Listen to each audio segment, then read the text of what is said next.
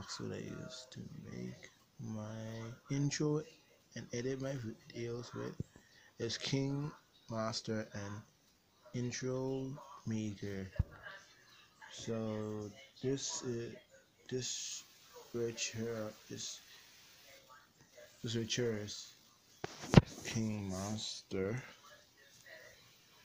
You see right here.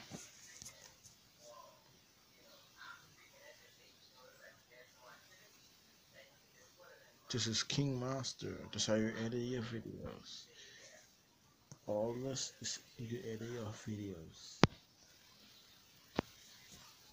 Now,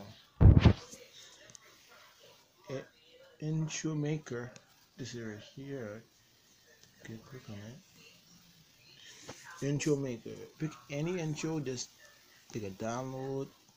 Just pick anything you want. Any intro. Anyone.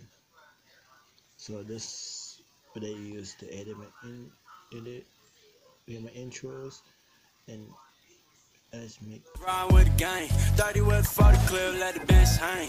Hit me with the reply, shot it